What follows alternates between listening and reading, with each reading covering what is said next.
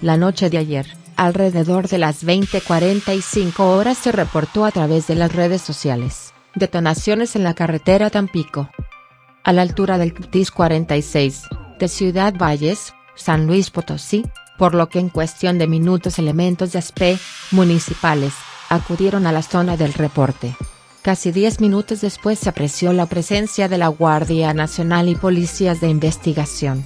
Al llegar al lugar, vecinos del sector comentaron a las autoridades que en efecto se habían escuchado detonaciones.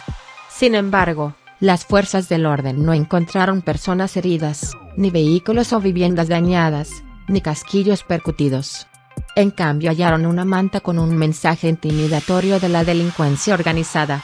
Autoridades procedieron a acercar desde la calle Escotería con Morelos, barriendo hasta 16 de septiembre, y retiraron la manta del sitio.